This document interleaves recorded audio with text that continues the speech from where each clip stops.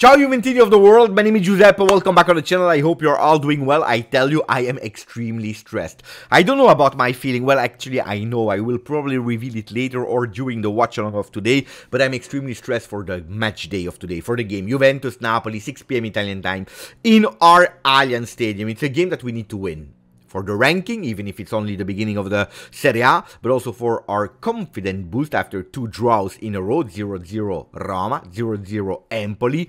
Now we need to go back. For the enthusiasm, did you see how much enthusiasm there was after that game against PSV? We need to go, we need to win. But it's also a beautiful day, a beautiful day full of nostalgia because we will welcome back someone, someone that will come back in the stadium. It's his home. We can say whatever we want. It is his home. He wrote important pages of Juventus winning Scudetti, uh, Coppa Italia, Supercoppa. It's someone that really, really is important for the history of Juventus. Today he will come back and we need to show him that in a way we don't forget the past, that we respected what he did for Juve with a big applause, that you're at the stadium or in front of your television. I would love that you stand up especially before the game, to applaud him.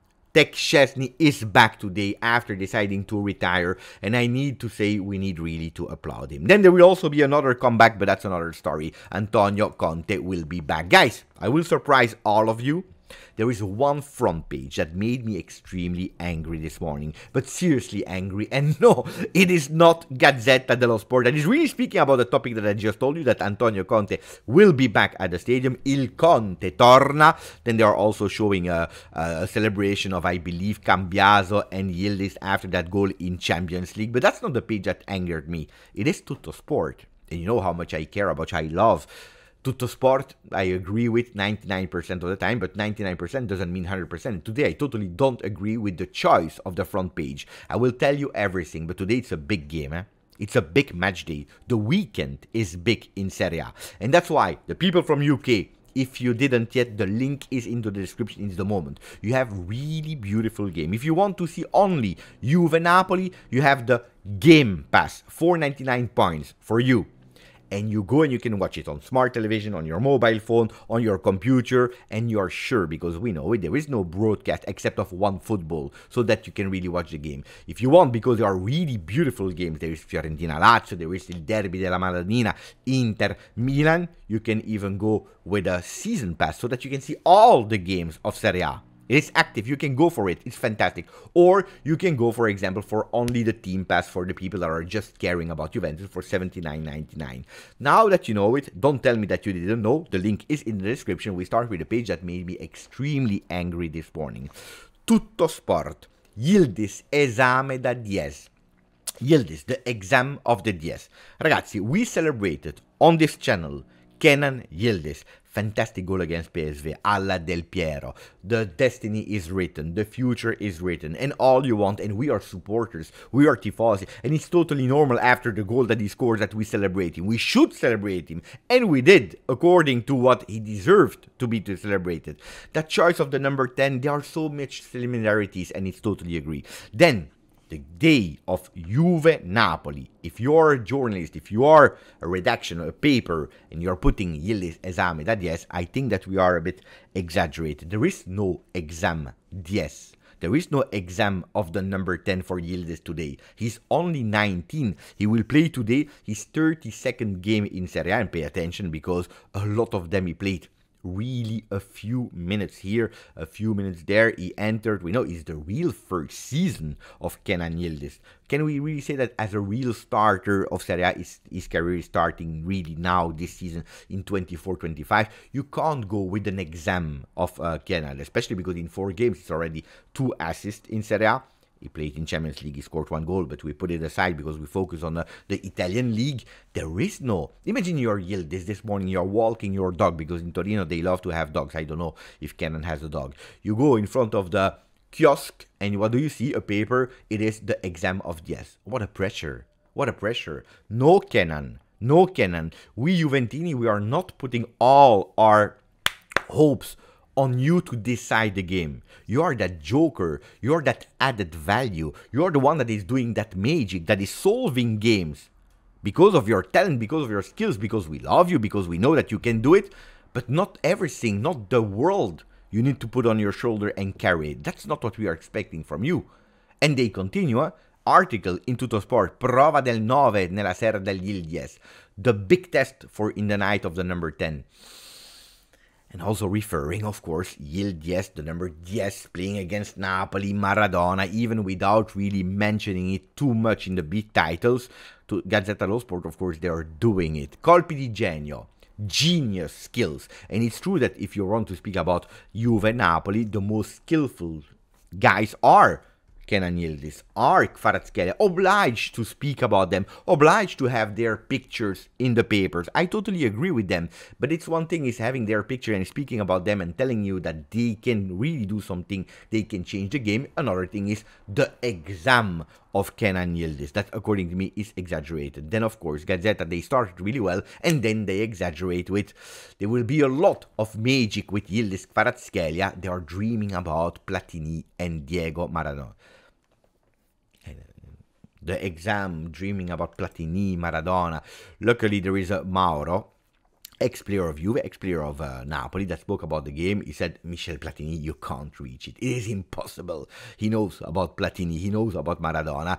He said, the Kvaratskhelia look a bit more to Maradona, learn from him. So a bit more rational there, but that picture I think is totally out of context for a guy of 19 years old. Calma, calma, calma. I prefer today the title of Corriere dello Sport is saying Cinque Stelle, 5 stars, because that's what it should be. A 5 star game, a game that will probably be watched in the entire world with a lot of duels, with a lot of stars, with two teams that are hoping to go there again on top of Serie A. We know it, Torino is on top at the moment as we speak with 11. If Napoli wins, they go first at 12 points. If Juve wins, we go back at 11, joining our cousins, Juve Napoli extra large.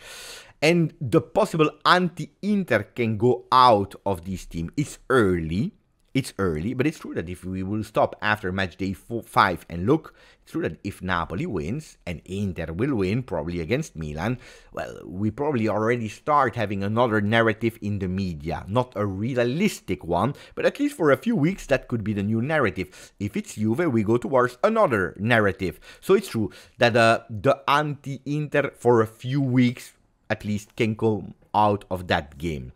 But I would prefer that we focus on other duels than Kenan Yildiz and the exam of Kenan Yildiz. A duel between Dusan Vlahovic and Romelu Lukaku. We are speaking about Dusan Vlahovic with 177 game in Serie A, 79 goals already.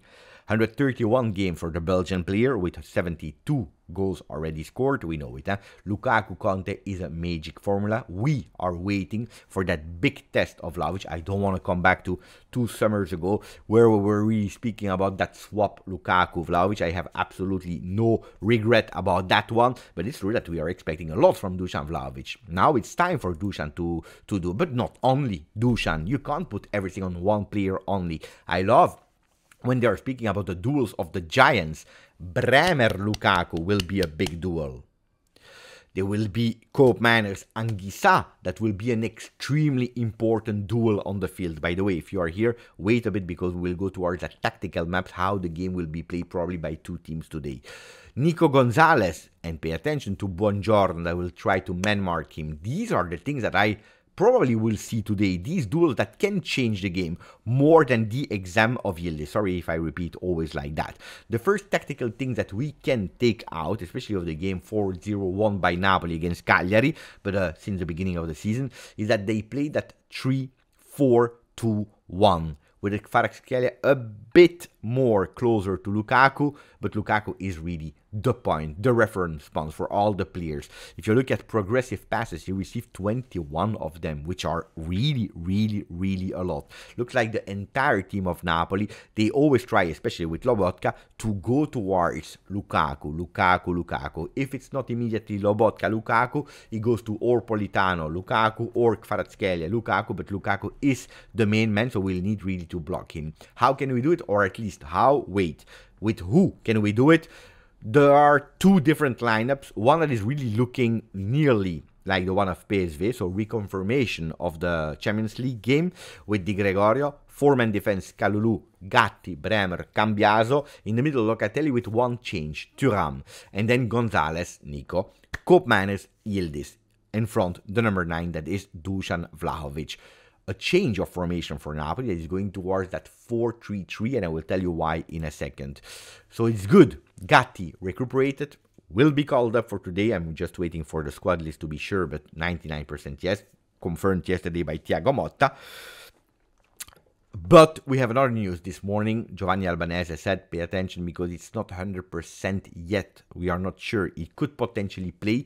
If he doesn't make making, and that will be decided in the last minutes, Kalulu could take his spot as a center back and Savona can go on the right side of the field. So we'll discover that in the latest minutes. And this is actually the lineup made by Gazzetta dello Sport in a 4-1-4-1 with Di Gregorio into the goal, Savona, Kalulu, Bremer, Cambiaso, Locatelli as the pivot there, Nico Gonzalez, McKennie, Koopmeiners, Yildiz, and Dusan Vlahovic. Two different lineups, especially in defense depending of Gatti, but also in the midfield. One is playing with Thuram Locatelli, one is playing with McKennie.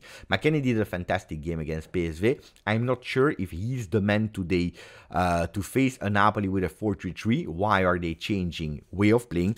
Because that 3-4-2-1 was one thing with four midfielders, but now they want to create even more density. It's a team that will probably play in the beginning of the game lower. They will create a lot of density in the midfield to actually be the king. That where that's where it will be played. It's a team that is dangerous, Napoli. Yeah? If you're looking in the four first games of Serie A and you look and you compare the stats, well, they are a bit better in everything. In average goals per game, 2.2 25 for them. We have 1.5 in uh, in nearly all the stats in uh, the passes completed and the passes completed succession. It's only these stats where Juventus is better. Otherwise, key passes, team defense position, dribbling, fouls committed, defensive foul, but every stat is towards a Napoli. So we need to really pay attention because they are really, really, really dangerous, especially because it's a team that, in terms of attempts, 72 are the leaders of that Serie A after four games, while Juve is 14th with only 44 attempts. So you see there is a big gap with a really dangerous Napoli, especially offensively. So how can we block and stop Napoli? Well, I was thinking if we play, let's say, with Savona Kalulu, uh, if we play with Thuram Locatelli, what I would recommend, it will be an important one. Why? Because we need to block that Lukaku that you see that I have put in that special training guy huge, big in the middle there, static, quite static in the beginning, but we need to try to close him with a square. Bremer, Kalulu, Locatelli, Thuram, so that these passes or the possibility to pass to Lukaku are really, really, really smaller and obliging actually Kvaratskhelia and Politano to go wider. And that's where Savona and Cambiaso, they will need to pay attention to them. More Savona defensively on Kvaratskhelia, a bit less Cambiaso, but he needs to stay really wide, like he did against PSV, and that we all appreciated his game. The support will come from Kalulu to support Savona on Kvaratskhelia, that double filter. And then we need to see a big work of Thuram Locatelli in terms of communication between the two of them. Who goes the first one on Anguissa? Who goes the first one on Lobotka? Who goes the first one on McTominay that could possibly play today? They will need to combine to communicate, to pay attention to the first one in ball possession so that not both of them are going because otherwise you lose that total square. Pay attention to that one. Why are we looking at that defensive phase with the yellow arrows? Because we want to keep as much green arrows with our offensive players. These players should today not make even more intense and compact that midfield, but trying to find spaces with Koopmeiners going left, right and going up. He's not the one logically that should man mark Lobotka. Otherwise, we lose in uh, in men offensively. Then we will have again an isolated Dusan Vlahovic. He will need to try to make himself free so that when we recuperate the ball with a Thuram, for example, or Locatelli in the first touch, we are immediately able to find that Dutchman. Yildiz taking care offensively, but also paying attention to Cambiaso, a bit less because Cambiaso needs to push a bit so that Politano is not super high offensively, but Yildiz needs to pay attention to come centrally because they will play with a four-man defense and we need to give a bit of support to Dusan, but also really straight on. Nico Gonzalez, a bit different job, going on the left, uh, sorry, going on the right side, giving offensive support, but also paying attention that Olivera, if he plays, or Spinazzola are not pushing too high. So a lot of tactical things to try to win the game of today.